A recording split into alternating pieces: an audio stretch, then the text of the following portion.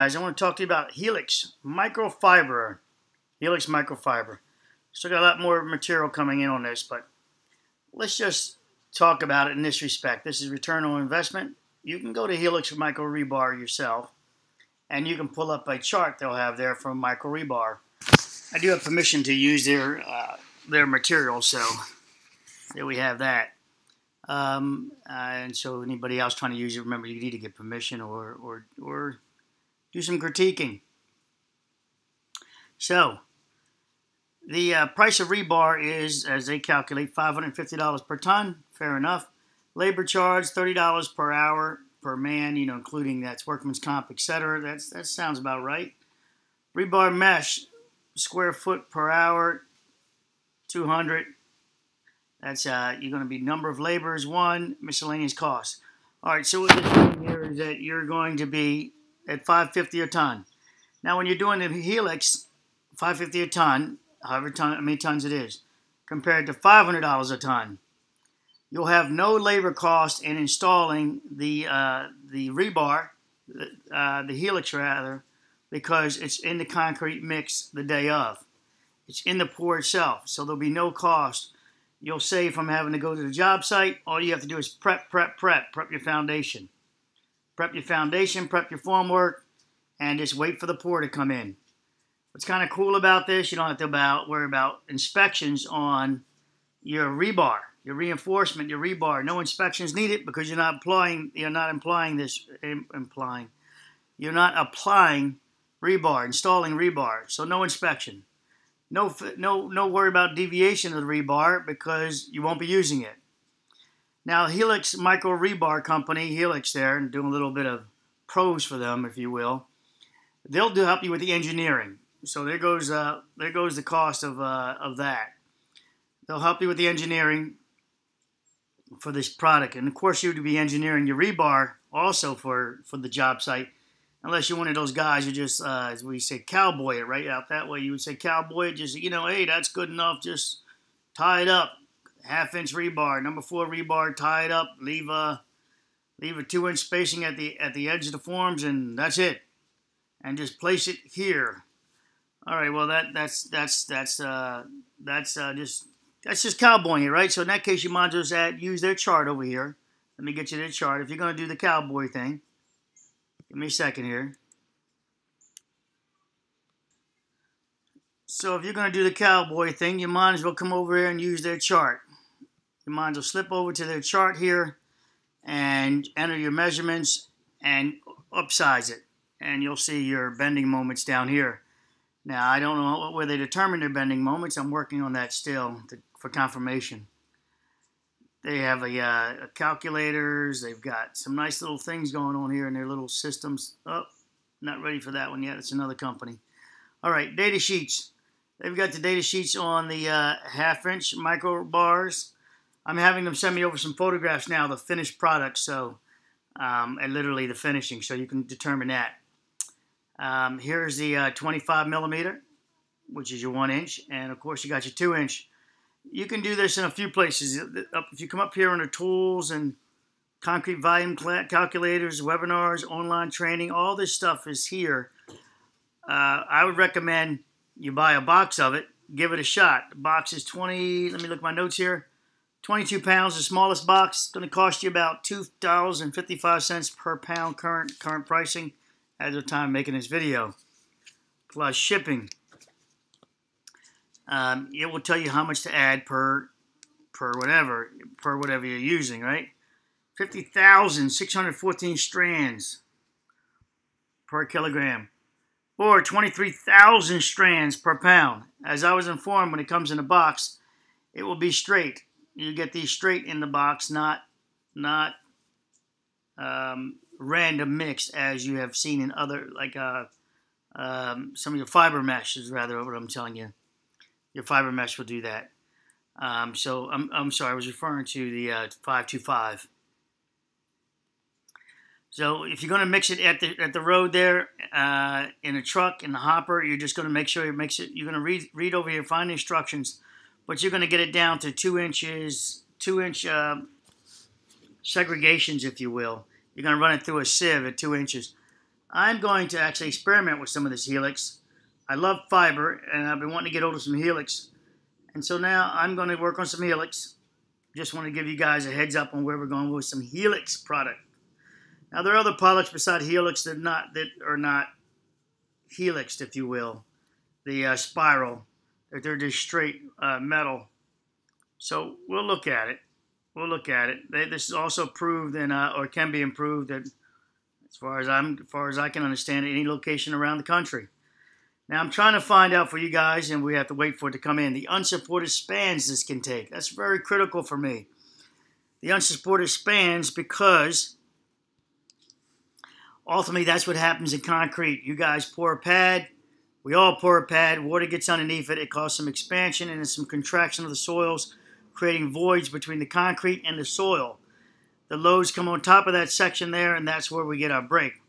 So I'd love to find, I'm waiting for the manufacturer to get back to me, their engineer to get back to me about any if they if they have some unsupported spans and basically in a header format of this product then we can go from there. Otherwise, uh, my when I purchase this product, it's going to be in a testing of unsupported spans and watching deflection and, and failure at that point. That's how I would determine it compared against concrete with rebar.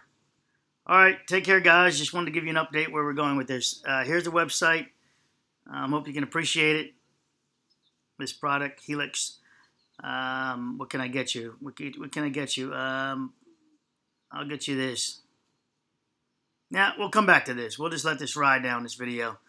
Hope this was helpful, or start to helpful about uh, where, where I want to go in concrete with you guys, ultimately saying, get away from the stone. Get away from stone. It's not, it, it's, it's, a, it's a myth about the stones are, let me see if I can find this other link. Hold on. The stones are the only way. You must have stones in your concrete. Uh, yeah. Quick time. There we go. Okay, here's the contact information for you guys. Contact them at this phone number here. That email address, if you I mean that website we're at now. They're USA made. ACI 318, ACI 360, and ASTM somewhere down here. Here's your application as I just described to you, installing it. How are you going to do that?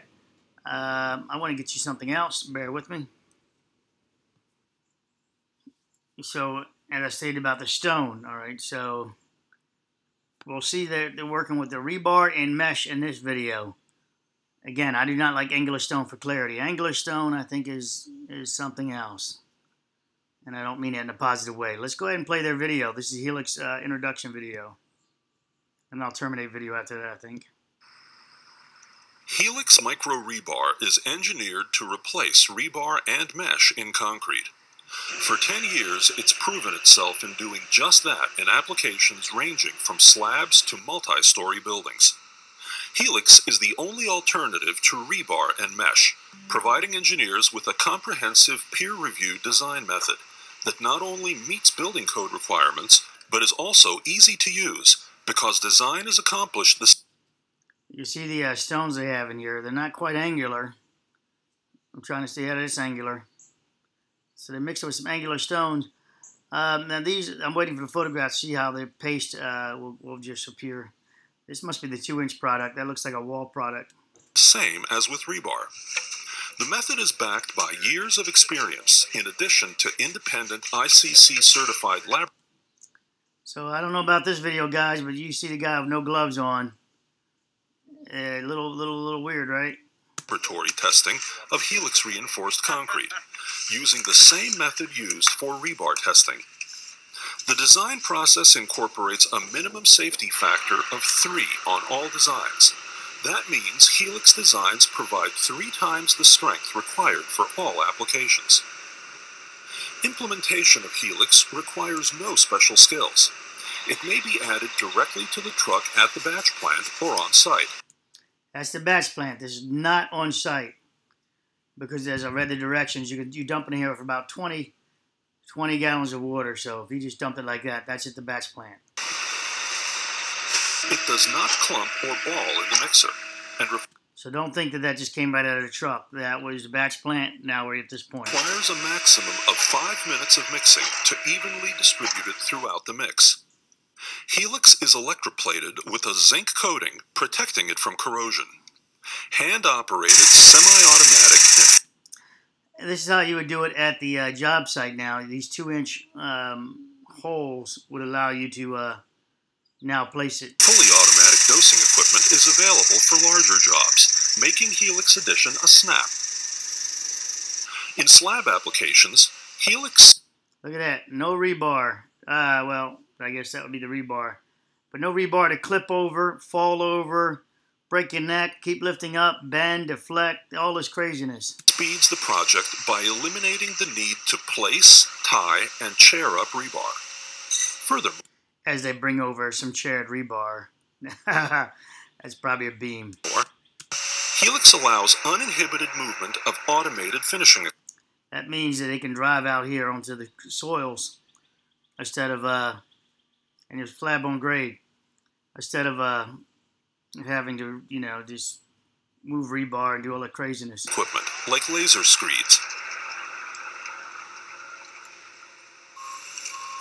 As you can see the back of the truck. eliminates the need for a pump, And there's your uh, your beam on grade, I guess, right there.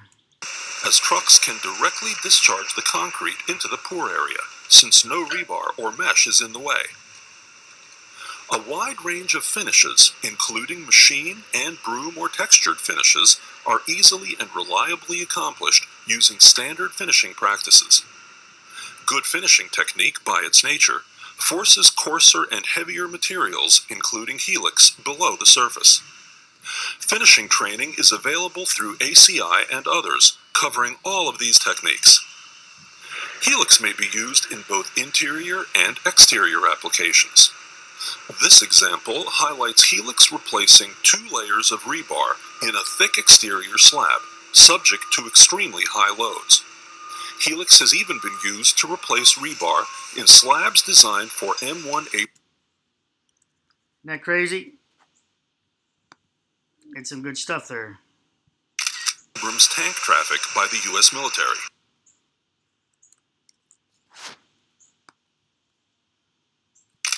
So this will be U.S. Department of Defense approved at this point, or maybe it was sampling. But it sounds like it's not. When That's pumping approved, is necessary, approved. Sounds like it's approved. like in cast in place walls, it is easily accomplished. The helix will not clog the pump and flows just like the other materials through the system. Form finishes are smooth and in many cases are left exposed to the elements even in corrosive environments. Helix offers tremendous savings, especially when used with self consolidating concrete, when replacing concrete in walls and precast. The need for rebar placement and vibration are both greatly reduced. Helix has been Greatly reduced. You're still going to be probably using in the header format, um, the header format, and then the tie-ins at the, at the wall corners. Perhaps I, I don't. I don't know. used in over 3,000 maybe. homes in the villages in Florida over the last several years. The integrity of these homes performed perfectly, even when hit by tornadoes and hurricanes. In fact, Helix applied at just 10 pounds per cubic And they show siding homes, not the not that wall system. I have no idea why they did that. yard meets FEMA's requirements for safe Maybe that's a, a block wall. rooms designed to resist F5 uh, tornadoes. wall. Helix not only saves the contractor time and money, which also helps win jobs, but also provides clients with a better, more durable concrete. Look at the drop of that damn, the drop of all that or that pump. It's going up, and then they got that drop before it makes the bend and it comes down again. That's one hell of a drop. I don't think that's configured properly. Please contact Helix Micro Rebar for more detail. All right, guys. Terminating the video, I think I might want to get one more thing for you. Let me see. I'll be right back, or I'll be deleting the video. I mean, pausing. So this section of the video, January 13th, a new twist, Helix Rebar. Uh, let's do a quick critique of that. You know, you got the guy in the background and everything else. Positive critique, negative critique, whatever. Um, This is 2015. Workers on the Manhattan East Side. So this is an update from three years later. Uh, okay, moving on. 45 pound boxes of uh, Helix twisted steel micro rebar um, were used. The basic concept is new screw, blah, blah, blah. This contractor states that he can do uh, 10, save one day of work. One day of work for every 10,000 square feet of rebar. It's going inside. This stuff is going inside tunnels. It, it's getting some. It's getting some traction. It's getting some traction, guys. This uh, this uh, micro steel uh, reinforcement. Again, I want to see its unsupported span, so I'm going to work on that. And I also need to see its finishing ability. You know, it seems like everybody keeps uh, showing it at a distance, ducking the, the tight surfaces. So uh, the critique is, really? Come on, I want to know what the, this tight surface looks like at that bridge. You can spray this on, etc. I just want to see what, what it looks like. All right. I'm terminating the video. Just wanted to give you guys a little more something of that. And you can find where the Department of Defense uh, used their products. I already did that. Bye.